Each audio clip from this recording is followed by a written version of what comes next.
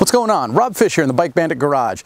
You know, riding off-road, it's super fun. Being out in nature and riding with your buddies and challenging yourself on different trails and terrain and simply enjoying time behind the handlebars. It's even more fun if all the riders follow the rules of the road, even when there is no road.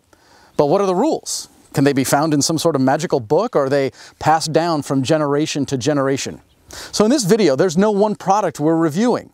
Instead, well, remember, we at BikeBandit.com, we're in the fun business, and sometimes we all just need a little reminder of the basics. Join us as we look a little closer at the topic of off-road, trail manners, and etiquette.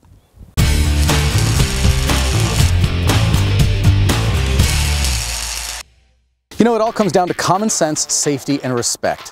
Maybe you've heard the joke, isn't it a shame that common sense isn't? By utilizing these tips, we can make the ride just that much safer for everyone, continue to foster positive relations with other trail users, and keep our riding areas open. For future use by showing the land management organizations that we can take care of ourselves, each other, and maintain our access to the land that we need so much for our fun.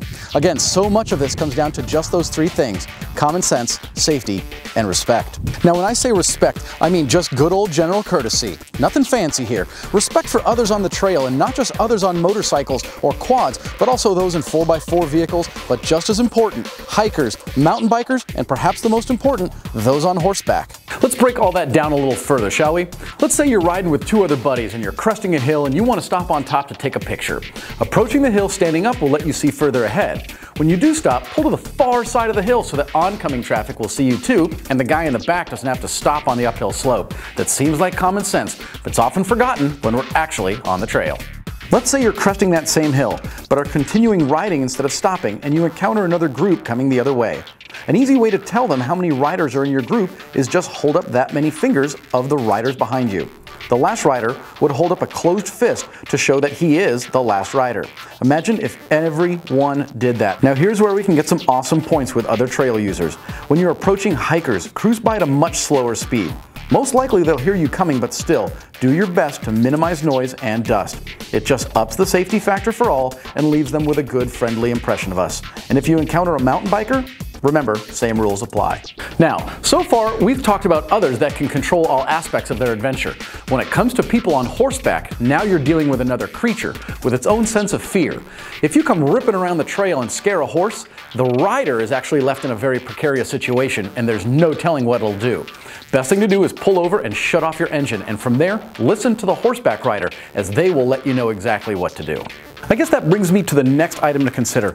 Remember, you're out trail riding. You're not going for podiums, you're not going for points. Keep things fun, but keep things in control and expect the unexpected. Have fun, for sure, but don't go all out on public trails. Here in SoCal, we have a couple of state riding parks that are absolutely amazing.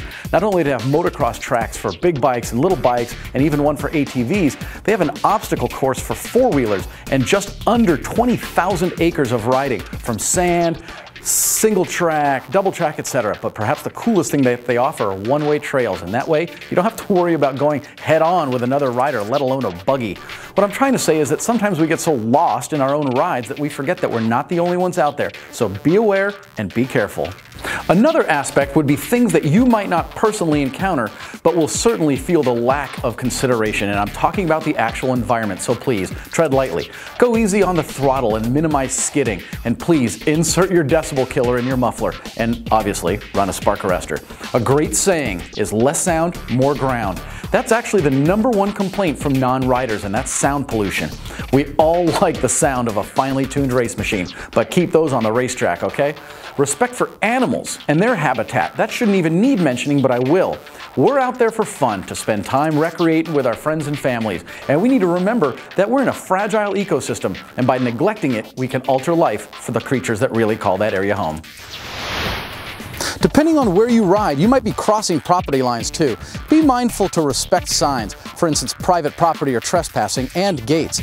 Stay off people's property unless you have permission ahead of time. If you come across a gate, leave it the way you found it, whether open or closed. You might also be cruising by campsites, either designated or not. So again, be respectful when it comes to noise, dust, and keep a respectful distance. So far we've talked about other parties that you might encounter. But how about those that are actually in your own riding group? Y'all might be buddies and pals, but there still needs to be guidelines and communications between everybody. Maybe there are those in your group that are more advanced than the others. So go easy on the newer riders and don't take them down trails that might be too hard for them. That's just mean. Don't make them ride over their head or keep too fast a pace. Almost cater the ride to those riders specifically.